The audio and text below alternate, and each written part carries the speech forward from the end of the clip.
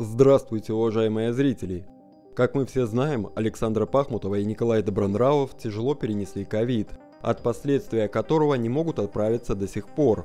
Если Александра Пахмутова стала немного поправляться и даже иногда выходит на улицу в сопровождении домработницы, то ее муж Николай Добронравов совсем плох. Состояние его здоровья ухудшается. По информации от крупных медиаизданий, он уже совсем не может передвигаться – Помимо слабости у него начали отниматься ноги. Его жена Александра Пахмутова, с которой он пронес свою любовь через всю жизнь, каждый день просит его не сдаваться.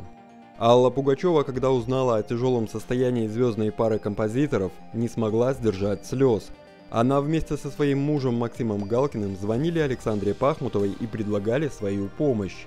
Александра и Николай долго отказывались, но Алла Пугачева настояла на том, что найдет для них хороших врачей, которые приложат все усилия для того, чтобы они поправились. Алла Борисовна настоятельно заявила Александре Пахмутовой, что они достояние страны, а не гордость.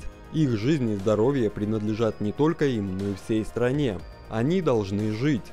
После таких аргументов от примадонны российской эстрады, звездная пара просто не смогла отказаться.